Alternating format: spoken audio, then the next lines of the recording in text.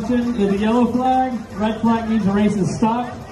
We have to stop the race, please slow down and follow instructions so we can try to get restarted as efficiently as possible.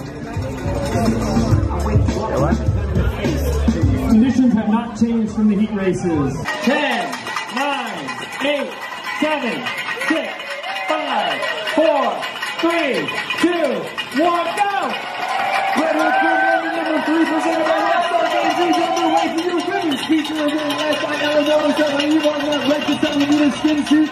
She's taking the charge immediately in the turn number 1 through turn number 2, followed closely by all of our professional women here in the Jasmine Jordan. Jasmine is sitting here right now. She's in that white kit near the front.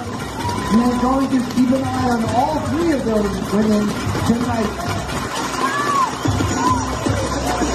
Amy Hill is near the front as well right now. Great to see first time Red Hook appearance.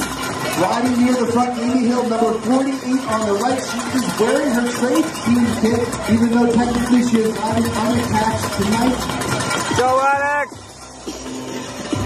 Amy Hill is not using tonight for 21 laps remaining. Tanya Airlock now is leading that in contest because she has led the most laps of this evening's race. 16 laps remaining with 16 laps to go.